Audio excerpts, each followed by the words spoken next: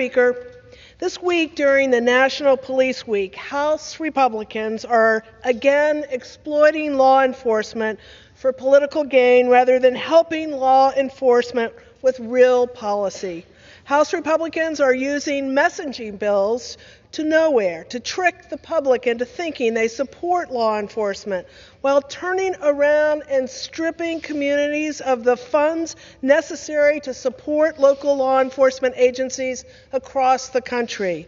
It was only two weeks ago that House Republicans voted to slash funding for law enforcement by 22%, that would decimate local law enforcement agencies nationwide while leaving our streets unsafe, and our communities vulnerable. I call on my colleagues to reject the empty rhetoric and instead work with House Democrats to provide the resources necessary to actually support our law enforcement officers and their mission to protect and to serve our families and our communities.